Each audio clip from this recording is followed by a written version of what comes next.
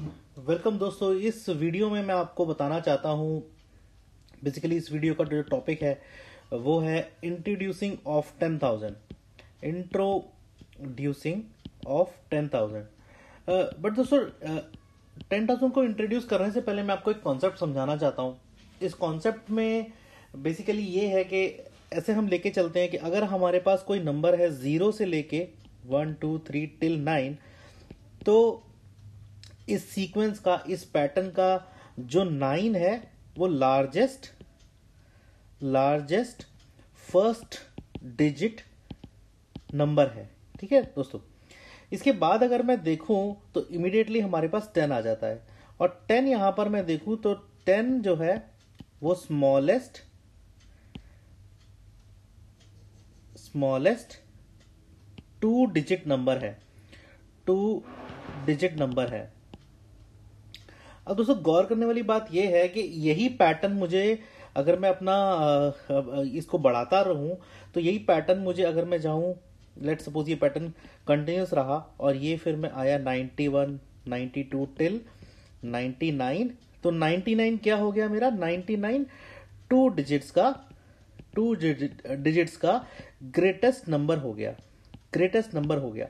ऐसे ही दोस्तों अगर मैं आगे चलूँ तो जैसे मैंने ऊपर किया है यहाँ पर 100 जो है वो स्मॉलेस्ट नंबर हो गया स्मॉलेस्ट uh, नंबर हो गया थ्री डिजिट का दोस्तों। थ्री डिजिट का। तो मैंने यहाँ कंक्लूजन निकाला और और सेम पैटर्न फॉलो होगा दोस्तों अगर मैं यहाँ पर नाइन नाइन नाइन लिखूं और सेम मैं लिखूं यहाँ पर वन थाउज़ेंड तो यही है ये थ्री डिजिट का सबसे बड़ा नंबर है ये फोर डिजिट का सबसे छोटा नंबर है। तो अगर मैं इसको जनरलाइज करूँ तो मेरे को एक पैटर्न मिलता है। उस पैटर्न में मेरे को ये पता चलता है कि nine plus one is equal to ten ninety nine plus one is equal to one hundred nine nine nine plus one is equal to one thousand तो उस पैटर्न ने मुझे दोस्तों ये बताया कि जो ग्रेटेस्ट है ग्रेटेस्ट है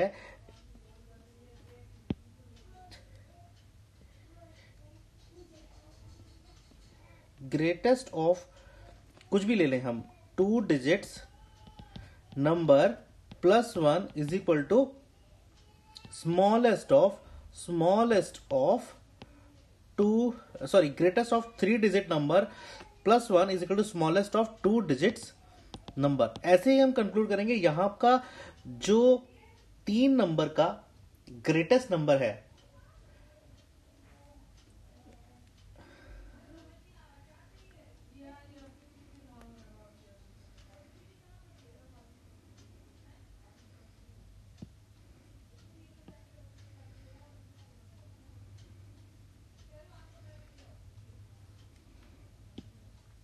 दोस्तों, अगर मैं इसको जनरलाइज करूँ तो मैं ये देखता हूँ कि अगर ग्रेटेस्ट ऑफ़ लेट से मैं इसको जनरलाइज करता हूँ greatest of two digits two digits number plus one is equal to smallest of smallest of three digits number three digit number ऐसे ही दोस्तों, यहाँ का जो टू है प्लस वन में कर दू तो यहाँ की थ्री डिजिट नंबर का वो स्मॉलेस्ट हो जाएगा। यहाँ का greatest plus one is equal to smallest of the higher digit number ये एक जनरलाइज टर्म्स मेरी बन जाती है।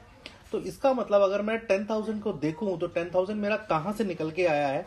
अगर मैं कंक्लूड करूँ तो टेन थाउज़ेंड मेरा इस तरह से आता है कि इसके अंदर टेन फिर तीन ज़ीरो है।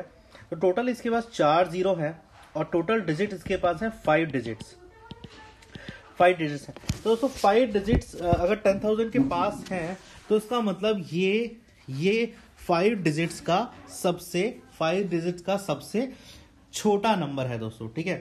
तो अगर मैं अपनी जनरलाइज टर्म से चलूँ तो मैं ये देख सकता हूँ कि, मैं ये देख सकता हूँ कि nine nine nine nine four digits का greatest plus one is equal to five digits का स्मॉलेस्ट जो कि टेन थाउज़ेंड है दोस्तों। तो यहाँ पर मैंने ये कंक्लूड किया कि अगर टेन थाउज़ेंड जिसके अंदर फाइव डिजिट्स हैं उसको मैं अगर, उसको मैं अगर अगर ब्रेक करूँ और उसको बनाऊँ तो वो बनता है four digits of nine nine nine nine plus one plus one and is equal to ten thousand ten then three zero तो ये एक बेसिक टर्म्स हो गया बेसिक एक मेथड हो गया किसी भी नंबर को निकालने का, किसी भी बड़े डिजिट्स के नंबर निकालने का, कि अगर किसी भी नंबर का डिजिट यहाँ पे स्मॉलेस्ट है वो किससे बना होगा दोस्तों? वो यहाँ के एक डिजिट कम के ग्रेटेस्ट के ग्रेटेस्ट नंबर प्लस वन से बना होगा।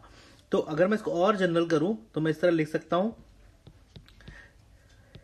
Greatest of n digits plus one plus one is equal to smallest smallest of n plus one digits तो इस तरह से मैं इसको एक जनरल टर्म्स में कन्वर्ट कर सकता हूँ।